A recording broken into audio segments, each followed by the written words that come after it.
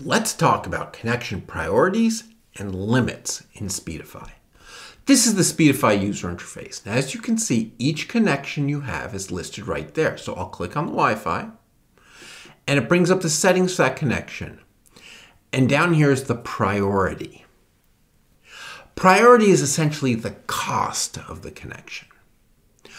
So if you click on the priority, it brings up a menu that shows all the possible priorities. The first one, the default, is automatic. Automatic is our new smart priority option.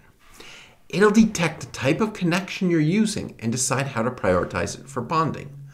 So connections that are usually cheaper and unlimited, like Ethernet and Wi-Fi, will be automatically prioritized over connections that tend to be more expensive and limited, such as cellular.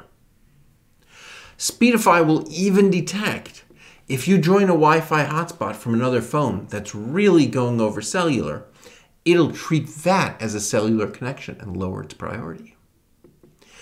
The second choice is primary.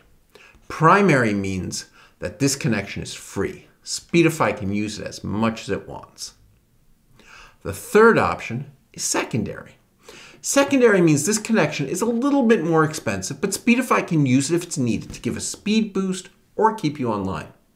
So what happens is that when you start off using the internet, Speedify will start off using the primary connections, like the Wi-Fi. And if you're only doing a little bit and the Wi-Fi is fast enough, it'll just use the Wi-Fi. But if you start doing a big download or you start live streaming and you need more internet speed than that primary Wi-Fi can give you, Speedify will start giving data to the secondary connections, like cellular, to give you that speed boost using bonding. The fourth choice is backup.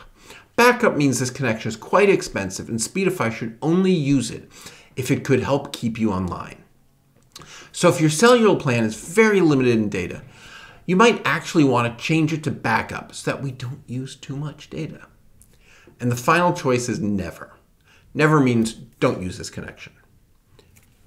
In normal circumstances, you'll probably never want to select this. All right, so that's how connection priorities work in Speedify. In addition to priorities, Speedify also includes data caps and rate limit settings for individual connections. You can see under the connection priorities that you have the data cap settings. You can set daily and monthly caps, as well as the over limit behavior. When it hits the limit, you can either have it cut you off or limit you to a lower speed. Underneath the data cap settings, we have the rate limit setting. Here you can limit the speed of the connection, which is also useful if you have a very limited data plan. I'll be honest, the only thing I use rate limits for is when I'm traveling internationally and I'm on a very limited cellular data package that has to last me for the whole trip. I'll purposely slow down my cellular to stop me from using too much. And that's really it for priorities and limits in Speedify.